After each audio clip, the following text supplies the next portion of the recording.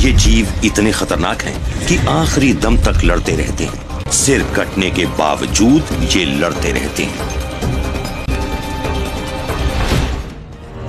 Africa में सबसे छोटे जीवों को भी ज़िंदा रहने का हक पाने के लिए लड़ना पड़ता है। चींटियों की लगातार बड़ी होती कॉलोनीज को और ज़्यादा खुराक की ज़रूरत पड़ती है। और इसका सबसे तेज तरीका होता है अपने पड़ोसी की ज़मीन को अपनी धौस के ज़रिए हथिया लेना। इन दोनों आर्मीज में दस हज़ार से ज़्यादा मेंबर्स हैं। इसलिए इस मुकाबले में मरने वाले भी काफ़ी ज़्यादा होंगे। ज़रूरी नहीं कि इस लड़ाई में हिस्सा लेने वाली हर चीटी ज़िंदा ही घर लौटे। ढाई सेंटीमीटर लंबाई वाले सैनिक हमले की अगुवाई करते हैं। ये फेरोमोन्स के ज़रिए दूसरों को भी अपने पास आने के मैसेज भेजते हैं। अफ्रीकन एंट्स का सिर हार्ट की शक्ल का होता है, जिस पर इनका सबसे बड़ा वेपन लगा होता है, यानी मैंडिबल्स चींटी के मैंडिबल्स मुड़े होते हैं और उनका सिरा किसी आरी जैसा होता है। ये बने होते हैं काइटिन से, यानी इनके एक्सोस्केलेटन वाली ही चीज़ से।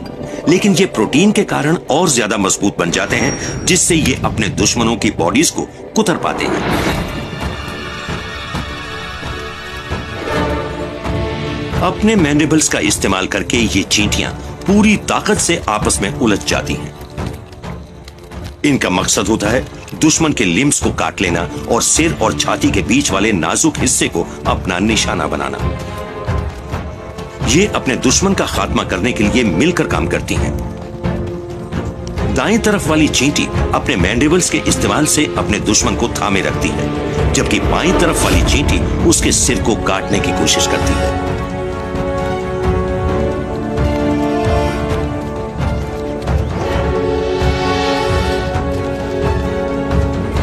ये एनिमल फाइट क्लब के अल्टीमेट कंटेंडर्स में से एक है। क्योंकि अगर ये अपने दुश्मन की बॉडी के किसी हिस्से को काट भी लें तो किसी जोबी मूवी की ही तरह बाकी बची बॉडी लड़ती रहती है।